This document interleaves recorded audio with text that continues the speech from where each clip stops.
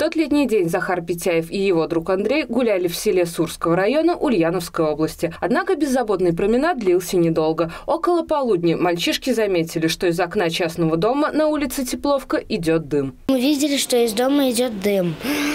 Мы, мы позвали взрослых, но мы подумали, что надо быстрее это делать. И мы открыли форточку и туда залезли. Там был пушок, я его спугнул, чтобы он ушел. Выключил газ и сразу же выпрыгнул. Как выяснилось, после причины возгорания стало то, что жительница дома, пожилая женщина, оставила вариться яйца на плите, забыла про них и ушла к соседке. К счастью, все обошлось. Дом остался целым, а пушистый любимец не пострадал. За героический поступок ребятам благодарна не только хозяйка, но и сотрудники МЧС.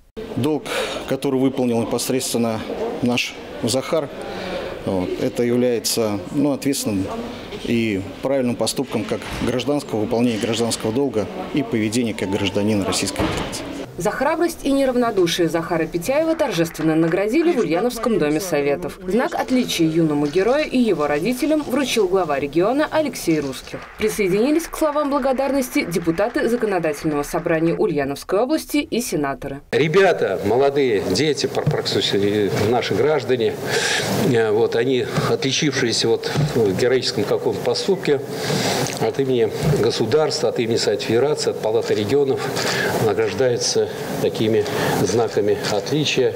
Я очень рад, что наш Захар тоже попал в число таких героев. Чествование молодого поколения за подвиги стало доброй традицией нашей страны. Торжественное награждение Захара Петяева прошло в рамках Всероссийского гражданско-патриотического проекта «Дети герои», который реализуется с 2014 года. Юлия Руднева, Анатолий Рассохин, Улправда ТВ.